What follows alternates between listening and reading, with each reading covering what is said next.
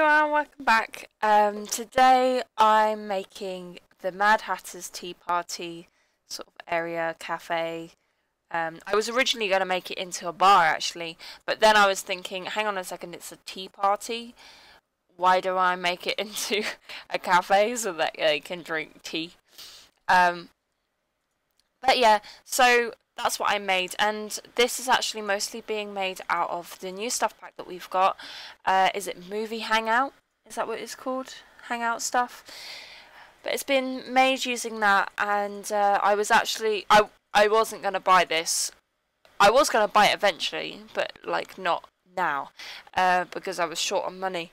And um, then I was watching uh, Rory Plays The Sims. She was doing a stream, and there was a few of us YouTubers and some other people watching, and um, it was it was a really good stream, and I had loads and loads of fun. So definitely check out her channel if you want to see more of her things.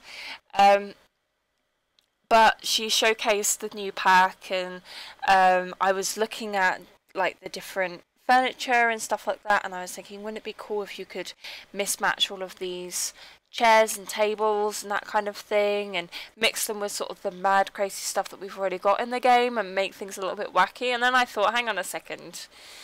That sounds very familiar to me. And um, that's when I came up with the idea of making a area which is like a little tea party um, from Alice in Wonderland. So I hope I do it justice. Uh, I really like this lot.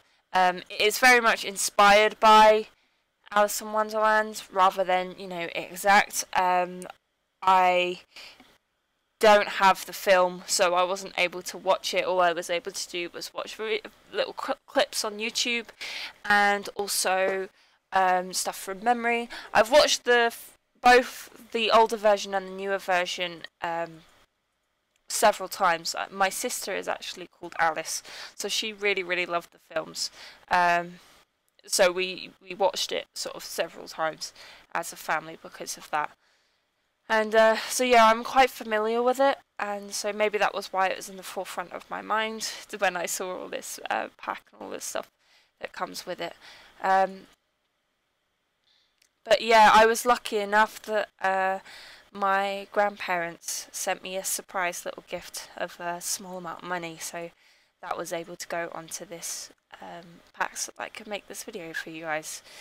But the table itself is sort of overflowing with all these cakes and ornaments and fruit and teapots and it's just a crazy mess. And there's also books scattered around like they've been reading and just threw them everywhere and there's piles of stuff just everywhere. So much clutter. So it was really fun to make um, some of it I had to be careful and sort of switch in and out of um, move objects uh, on and off uh, because if I was trying to sort of edit some things, they would some of the things would delete. So this is definitely a, a lot that you need uh, moved objects on if you want to put it down. If you want to change something like the um, the fence or the wallpapers or something like that, what you need to do is you need to turn um, move objects off before you change them, then turn it back on again. But this the Sims 3 control where you can turn things like as much as you want. I'd never got it to work before today. I then tried again with this rug and it just wasn't working. I was like, okay. But I, I think it's something to do with the trackpad on a Mac. Um, I can't I can't get it to work. I should probably maybe if I'm planning to use that, um, have a mouse plugged in so I can quickly do it. But um, yeah, I don't know why it doesn't work on a trackpad, and it's like no matter how much you move it, it's like it's it is complete and utter luck if it's gonna like work at all. So um, I was quite lucky. I think I didn't really necessarily need to have it rotated, but I wanted to try. Um, it's a shame that it works there when I didn't need it, and not on other times when I'd been practicing and really hoped it would work and it didn't. But uh, anyway, I think it's more touch and go. But um, I'll make sure to remember to have my mouse plugged in next time. But yeah, like I said, all the images that I saw of the actual table and the characters sitting around it and that kind of thing, there was piles and piles and piles of books all around them and just scattered everywhere. So I thought um, that I would do that.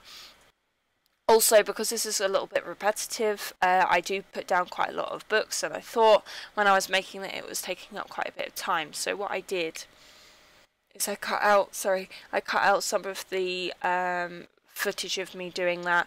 I also put up olive flags like I've done here.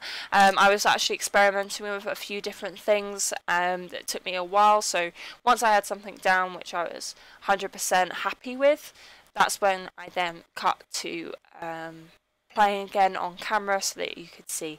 But we've got some books on um, three of the corners and then the flags all the way around and I think that's pretty much all I changed. But we're going on to sort of landscaping here and this is used, I used a lot of the uh, items from Get to Work from the uh, alien stuff. I also really really looked at the both um, the objects or you know uh, plant life and things like that from the old film and also the new film um, to try and get the sort of closest I could get to uh, what it would be like. Um, to start with, I made everything kind of blue, and I can't remember. Like it wasn't, it wasn't blue. I don't know why I did that. I think it's because the toadstools were all different colours, but obviously we've only got blue toadstools. So what I decided to do later on, don't know whether I got it on camera, was to go around and change some of the flowers so that they were they weren't all blue. But yeah, and also we've got up some, um, uh, I've forgotten the proper name for them, but, you know, the, um, the, the hedge sculptures. I've got a few of those because they were from the Queen of Hearts garden. I also thought about putting in, I've, I think I put in some sort of chest stuff, but I also um, wanted to get some black and white sort of tiling down, and you'll see me experiment with that later, but it didn't really work. Um, I put some roses in as well. Uh, I don't know whether I got that on camera either, but um, just know that they're there. You'll see them on the screenshots anyway. But here we go. Um, with the bathroom, I just put this in there obviously because your um, Sims need to go to the toilet, but uh, they need a sink and that kind of thing. Um, did you see just then I turned move objects off and then I'll turn it back on in a second um, so that um, the things will then work again because I put up the wallpaper. Uh, what was I talking about? Hmm, I don't know. oh no. Oh well. Um, I'm sure it wasn't that important. But yeah, we're going around and putting in some more flowers and some more sort of weird looking things. And also I noticed that quite a lot of the plants were larger than life. They were huge and um, they were bigger than the characters themselves. So this wasn't a massive lot, so I didn't, I couldn't make them too big. And obviously we've got the trees and stuff. They, I still wanted the trees to be in proportion with all the plants. So um, they're not huge, but you know they are much bigger than they should be. I also thought this was quite cool um, with the plants down the side. Um, with the little, are they are they supposed to be tulips? I thought that they added a level of craziness and colour that I thought would go really well. I also tried sizing this up. I think I'll use that in another build. Um, but it could be quite a cool wall decoration sized up if you wanted it to be, instead of it being a mirror. Um, and then you could hide the little glass bit with maybe um, like a bed or a sofa or something like that. Uh, I thought that would be quite a cool thing to add. Um, I also put these lights around here because I wanted to make sure that the they're pretty obviously as well but I wanted to make sure that this central area was lit up so that when you were playing the game um, it would be fine but uh, the mushrooms or toadstools they um, they glow up I also put in some little chess pieces and they glow up the trees glow up too so uh, there was no need to put lights in any other area. I'm also experimenting with the sort of floor because I didn't know what I was doing with this sort of area. I've realised that it's really obvious when I don't know what I'm doing and I'm experimenting in comparison to when I do know what I'm doing. There's a there's a really big difference between um, the way that I I build. But anyway, um, you'll see me. I decided to leave it in this time. I just decided to wing it and uh, experiment. Maybe I I thought that maybe because this is sort of a weird build and they're weird ideas that they might give you some sort of inspiration. But yeah, I then put like in a second I put the big ones of these down in a line. I think do I? Yeah, I put in these first, but then I do it afterwards. And um, I thought it looked like a starting line, and I thought, well, that looks really stupid. Um, maybe you guys could uh, build a racetrack. That'd be quite a cool thing. You could use a dance force. But um, yeah, I didn't think it looked right. So I just decided to scrap the entire idea. Uh, and I went for something else in the end. And I think it turned out pretty well. So, and we had lots of seating area. That was the bit that I was talking about, by the way. We also put a piano in um, so that you can get some music playing in here. I thought that would be quite a sort of magical, mystical thing. I love these little puff cushions. I'm I'm half my mum has a whole load of sort of um, scrap fabrics that are bright colours that you know are offcuts from things that she's made herself and things like that and I'm you know I'm half tempted to ask her if she can make me one because they're so pretty.